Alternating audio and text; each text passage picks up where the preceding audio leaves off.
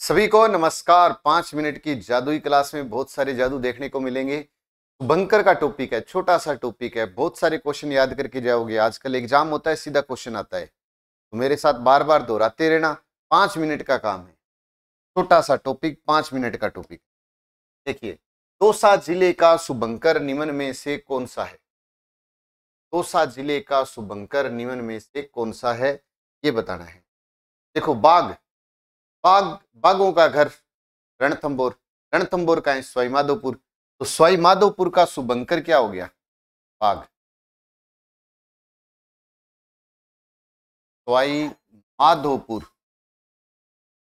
का सुबंकर है बाघ तो सा खरगोश सा तो सा खरगोश सा ये तो फीलिंग ही देगा पूरी। कि दो सा का शुभंकर खरगोशा है, दो सा की आकृति धनु साकार है, दो सा धनुषा खरगोशा प्राचीन नाम धोसा। ये बताओ गागरोनी तोता, मैं ये कहता हूँ गागरोन दूर का है आप कहोगे झालावाड़? झालावाड़ किस लिए प्रसिद्ध है गागरोनी तोते के लिए? तो गागरोनी तोता किस ज़िले का शुभंकर हो गया? झालावाड़ झालावाड़ का शुभंकर है, गागरोनी तोता। घड़ा, कोरा घड़ा, कच्चा घड़ा, कोरा घड़ा, कच्चा घड़ा, करोली का शुभंकर गड़ियाल है। करोली का शुभंकर गड़ियाल है। कोरा घड़ा, कच्चा घड़ा तो घड़े में याद हो गया। अब बताओ कि आपसे पूछे, बाघ तो आप कहोगे, बाघ रणथम्बो रणथम्बो और स्वाई माधोपुर स्वाई माधोपुर का शुभंकर बाघ, दो सा खरगो सा। गागरोनी तोता झालावाड़ का है। फिर इसके बाद श्री गंगानगर का शुभंकर है चिंकारा। श्री गंगानगर का शुभंकर है चिंकारा। चिंकारा, कल को पूछे राजस्थान का राज्य पशु। राजस्थान का राज्य पशु, किस ज़िले का शुभंकर है? कह देना गंगानगर का शुभंकर गंगानगर का चिंकारा, चित्तौड़ का चौसिंगा।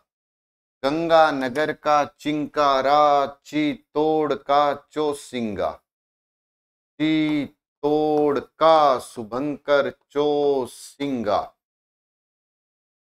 गंगानगर का चिंकारा चित्तौड़ का चौसिंगा जयपुर का चित्तल है।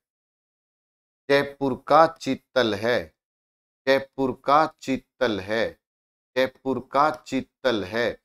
गंगानगर का चिंकारा चित्तौड़ का चौसिंगा, जयपुर का चित्तल जयपुर तीन ही। है चिंकारा, चौसिंगा और चित्तल। तो गंगानगर का चिंकारा, चित्तौड़ का चौसिंगा और जयपुर का चित्तल। ये बताओ, बीकानेर में अभ्यारण्य कौन सा है? तो आप कहोगे गजनेर है। गजनेर की विशेषता क्या है? पटवड़ पक्षी है। पटवड़ को क्या कहते हैं? रेत का तितर। जहाँ रहता है रेत का तितर वहाँ का शुभंकर है बढ़तीतर वहाँ का शुभंकर है बढ़तीतर क्योंकि यहाँ रहता है रेत का तितर। रेत का तितर किसे कहते हैं? गजनेर अभ्यारण्य, बीकानेर। पटवड़ पक्षी के लिए प्रसिद्ध है। पटवड़ को पटवड़ को रेत का तितर कहते हैं। जहाँ रहता है रेत का तितर, वहाँ का शुभंकर तो हट तितर है। ऐसे याद रख लो। तो इधर बीकानेर के बराबर में इस तरफ़ जिला कौन सा है? झुंझुनू। इस तरफ़ जिला कौन सा है? झुंझुनू। झुंझुनू किसका पड़ोसी है? हरियाणा का। हरियाणा में ज़्यादा है काला तीतर हरियाणा में ज़्यादा है काला तीतर हरियाणा में ज़्यादा है काला तीतर दो ज़िले बराबर में इधर बीकानेर, इधर झुंझुनू। इधर बीकानेर, इधर झुंझुनू, इधर बट तीतर इधर काला तीतर क्या कह दें? दोनों तीतर बराबर में। ये भी तो जच रही है बात। इधर बट तीतर इधर काला तीतर अब बताओ, गंगानगर चिंकारा चित्तौड़ का, जयपुर का बीकानेर भटतीतर झुंझुनू का काला तीतर जैसलमेर जैसलमेर में मरु उद्यान है। और जैसलमेर में मरु उद्यान मरु उद्यान की विशेषता है गोडावन। तो जैसलमेर का शुभंकर क्या है? जैसलमेर का शुभंकर है गोडावन। और गोडावन क्या है? राज्य पक्षी। गोडावन राजस्थान का राज्य पक्षी। कल को प्रश्न आया कि राजस्थान का राज्य पक्षी किस ज़िले का शुभंकर है? तो क्या कहेंगे आपको जैसलमेर का। राज्य पशु चिंकारा, गंगानगर का। फिर उसके बाद, गोडावन के बाद में। चूरू में ताल छापर अभ्यारण्य है। आपको भी बिल्कुल चूरू में ताल छापर अभ्यारण्य और ताल छापर की विशेषता है काला हरिन तो यहाँ का शुभंकर क्या है? काला हरिन कृष्ण ब्रिग काला हरिन कृष्ण ब्रिग हनुमानगढ़ में तो एक छोटा किला है बटनेर। आप कहोगे हाँ जी, बिल्कुल छोटा किला बटनेर है। कि हनुमानगढ़ में तो एक छोटा किला, छोटा किला किला, किल किला किल किला। याद हो गया? हनुमानगढ़ का शुभंकर है, छोटा किल किला। छोटा किल किला, छोटी चिड़िया जिसकी चौंच लंबी। कहाँ का शुभंकर है, हनुमानगढ़। तो पहले तो आप ले लीजिएगा इसका स्क्रीनशॉट फिर एक बार रिपीट करते हैं। बाघ।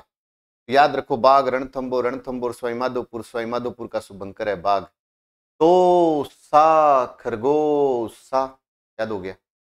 झालावाड़ का गागरोन दुर्ग, गागरोनी तोता, घड़ा, कोरा घड़ा, कच्चा घड़ा घड़ियाल, गंगानगर का चिंकारा, चित्तौड़ का चौसिंगा, जयपुर का चित्तल, बीकानेर में भड़ तितर तो झुंझुनू में काला तितर फिर उसके बाद में जैसलमेर का गोडावन है तो चूरू का काला हरिन हनुमानगढ़ का छोटा किलकिला दो बार, चार बार पढ़ोगे तो कुछ याद हो जाएँगे। जब कुछ याद होंगे तो बहुत कुछ याद होगा। तो जो भाई बंधु देख रहा है, अपने ग्रुपों में शेयर करना, वीडियो को लाइक करना, पहली बार चैनल पर आए वो सब्सक्राइब ज़रूर करना और ज़्यादा से ज़्यादा शेयर करना है। बाकी नौ तारीख से सभी नए बैच शुरू हो रहे हैं ऑफलाइन भी। जय हिंद, जय भारत।